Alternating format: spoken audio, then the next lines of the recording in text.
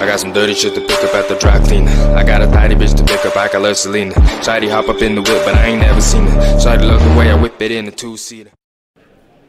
Okay, guys, do you remember the international rules? I want a clean match. Go to the corner. Good luck.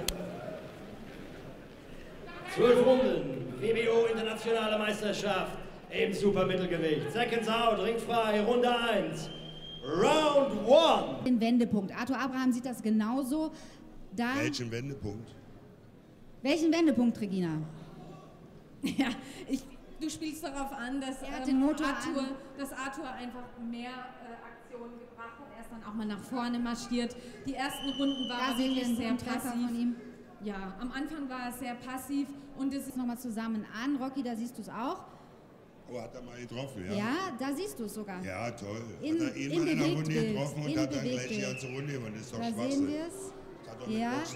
Hier kommen laute, hier kommen laute Buhrufe in der Halle. Ja, das kann schon Anscheinend sein, aber das äh, haben nicht alle- mich nicht. Das interessiert mich nicht. sind nicht, komm, sind nicht alle deiner Meinung. Wo hast du denn die klaren Hat er ja auch Nielsen das hat gesehen? aber nicht damit zu tun, dass er den weil Patrick Nielsen war nicht angeschlagen, äh, wurde angezählt und äh, das war eh eine gute, relativ gute Runde für Arthur und somit war das für mich eben eine 10 zu 8 Runde und Das somit sind eben schon mal zwei Punkte wieder auf dem Konto von Arthur.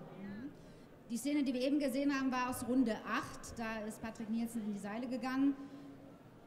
Kurz gestolpert, genau, da sehen wir es. Und ähm, dann in Runde 10 eben das Ist ja klar, wenn auch halt ein bisschen, um warm zu werden. was Arthur, Arthur vielleicht gemacht hat, Wir schauen's uns von dem mal den an. aber nichts bringt, ist klar, dass, äh, dass ich in Not bin hier mit meinen Argumenten. Also wir sehen schon, hier ist auf jeden Fall Redebedarf.